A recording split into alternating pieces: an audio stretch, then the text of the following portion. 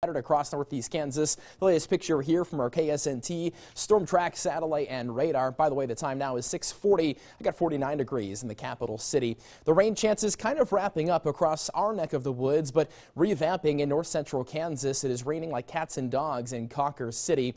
That uh, little cell will actually break up as it moves into our neck of the woods. Our KSNT future track so far this morning uh, painting by 8 or 9 o'clock. Uh, a bunch of rain chances still across the western half of the area. I think it's overdoing the rain a little bit later on this morning, but certainly if it's going to rain, it's pointing exactly where it would be raining at that time, if that makes sense. So by lunchtime, I think most of the rain will be wrapped up, but if it is still raining, it'll be north of I-70, along US 36, and even east of US 75.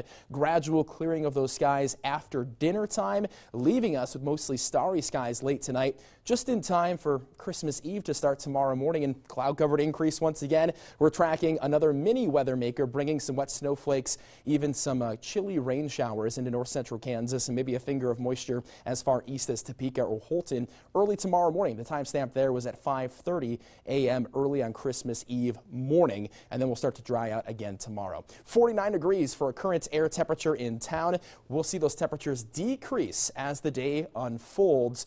So we'll call a high temperature in Topeka of 50. Already saw that temperature so far this morning. Kind of a flip-flop of temperatures across the area today. Winds blowing in this afternoon out of the north and west. A chilly and breezy afternoon as skies gradually clear. As promised, your KSNT seven-day forecast looks like this. Besides the slight chance for a rain shower or snow shower early tomorrow morning, we will be dry and we'll see the sun again tomorrow afternoon for Christmas Eve. And then we're tracking dry weather for Christmas Day. However, setting the stage for a major storm system this upcoming long holiday weekend. We'll be tracking that and timing it out for you as it gets closer. The time now is 642.